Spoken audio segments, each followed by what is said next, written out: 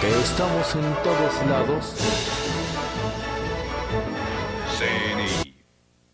Grandes ladrones de este país Son rateros con los licencia. que están arriba.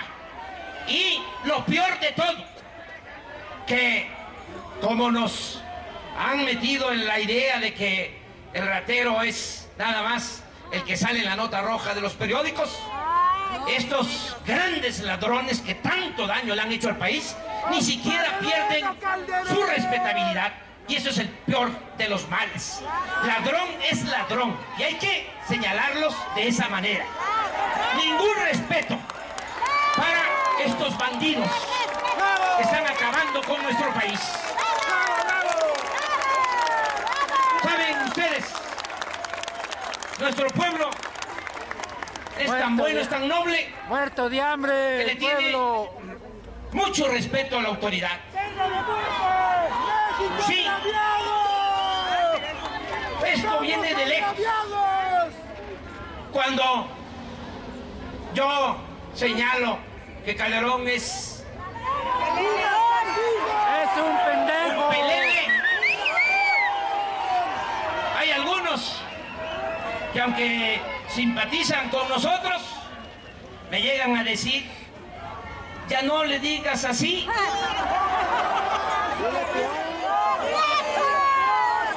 ¿Saben por qué? Por ese respeto a la autoridad. Pero ¿qué respeto se le puede tener a un mequetrefe como Calderón?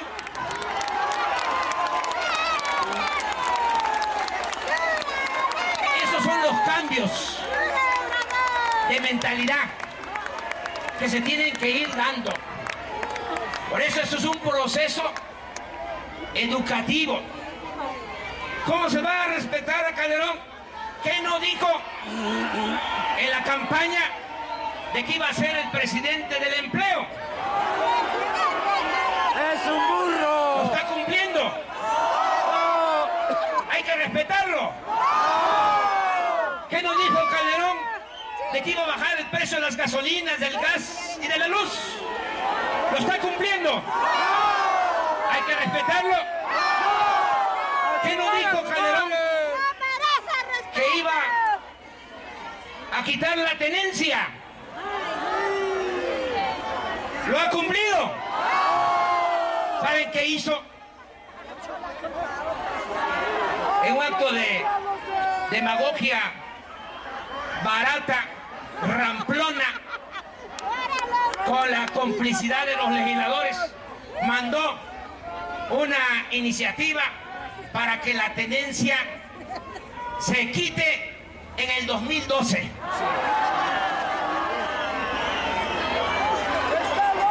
¿Merece respeto? Entonces que quede claro, hay que respetar al que respeta al pueblo. El que no respeta al pueblo no merece respeto.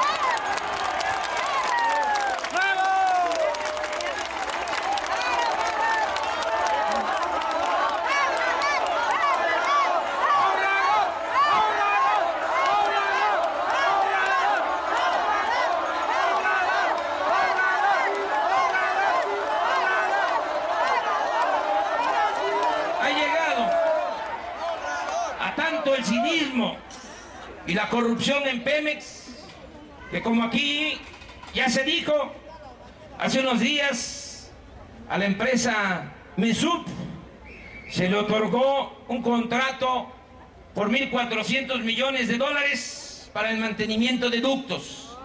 Que en no- esta compañía Que no se hizo. en 2005 traba- trabajaba como consultor el actual director de Pemex, Jesús Reyes Heroles, hijo. Ratas desgraciadas.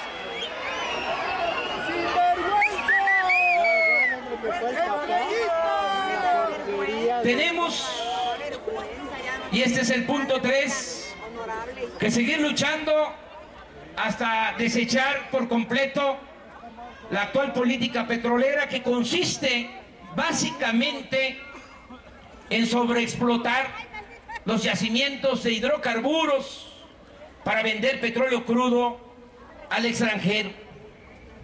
Recordemos que el general Cárdenas consideraba que México, después de la expropiación, no debía volver a ser exportador de petróleo crudo y que esta materia prima tenía que utilizarse racionalmente para el desarrollo del país. Hay que decir que este criterio prevaleció con altas y bajas durante mucho tiempo. Es hasta el gobierno de López Portillo cuando se decide de manera irresponsable vincular en forma directa la explotación del petróleo y del gas al mercado internacional. En ese entonces, el ingeniero Eberto Castillo, principal opositor a esa política, sostenía que lo más inteligente era volver al espíritu cardenista de dedicar la producción nacional al consumo interno. Más de una vez el ingeniero Alberto Castillo insistió en que era inaceptable y equivocado pensar que exportando petróleo crudo se sacaría al país del subdesarrollo. A partir de 1983, con la adopción de la política neoliberal, se terminó de sujetar al sector energético nacional a los intereses foráneos. Y actualmente lo único que importa es vender petróleo crudo en el extranjero, haciendo a un lado, como es público notorio, la exploración de nuevos yacimientos y sobre todo dejando en el abandono la refinación y la industria petroquímica. Esto nos ha llevado a una gravísima situación de dependencia. Estamos comprando en el, en el extranjero casi la mitad de la gasolina que consumimos en nuestro país. El 18% del diésel, el 15% del gas LP y el 15% del gas natural. A consecuencia de esta absurda política, el año pasado se destinaron a la compra de derivados del petróleo 30 mil millones de dólares, dinero que podría estarse invirtiendo en la modernización del sector energético para generar empleos en el país y fomentar las actividades productivas. En suma, tenemos que seguir luchando para cambiar la actual política energética que ha resultado un verdadero desastre. Amigas y amigos, hoy por la mañana, presidente Espurio Calderón, De manera